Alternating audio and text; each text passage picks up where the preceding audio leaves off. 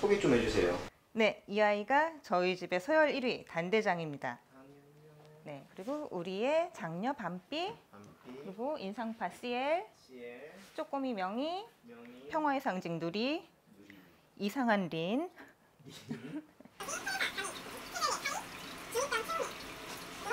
치즈의 양이들만 맞춰볼게요. 동이, 네, 누리, 안녕, 모라니, 모, 보라니, 제가 다니, 아니, 누리, 누리, 얘가 동이, 아니, 아니, 단, 다니. 단. 어, 어떻게 이렇게 맞추세요? 다 다르게 생겼잖아요. 다 비슷하게 생겼는데. 자기 자식을 헷갈리는 부모는 없죠. 어, 완전히 다르게 생겼는데. 그중으로.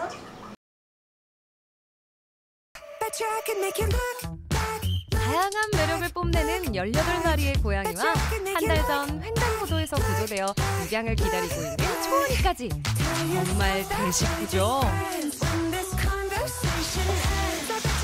덕분에 보호자의 일상은 숨 쉴 틈 없이 바쁩니다. 하나하나 챙기다 보면 하루가 순식간에 지나가죠.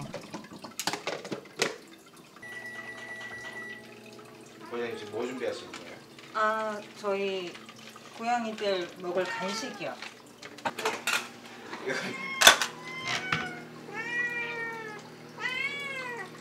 우리 카이의 이 간식이다 소리를 우리 집에서 카이렌이라고 불러요.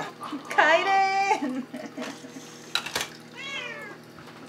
이게 갑자기 자던 애들 다 같이. 네, 이 카이렌이 울리면 다 뛰어 나와요.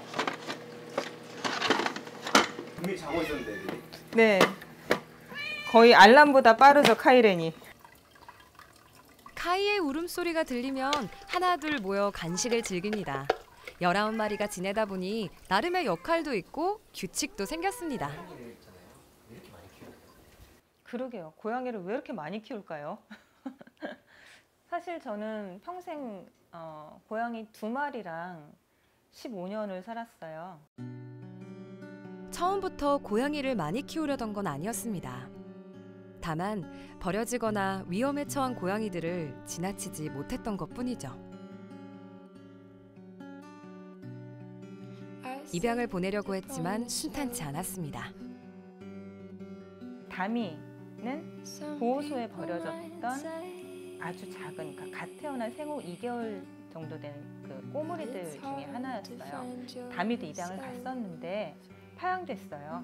파양돼서 다시 제게로 돌아왔고 채우미는 제 지인이 구조한 아이거든요. 제가 인보만 하고 입양을 보내려고 했는데 하, 칼리시 바이러스에 감염되는 바람에 뒷다리 성장판이 완전히 망가지고 척추까지 염증이 번져서 입양이 취소됐고요. 그렇게 파양된 아이들 혹은 아파서 가지 못한 아이들 그런 아이들이 하나 둘 이 집에 남으면서 이렇게 대가족이 된 거죠.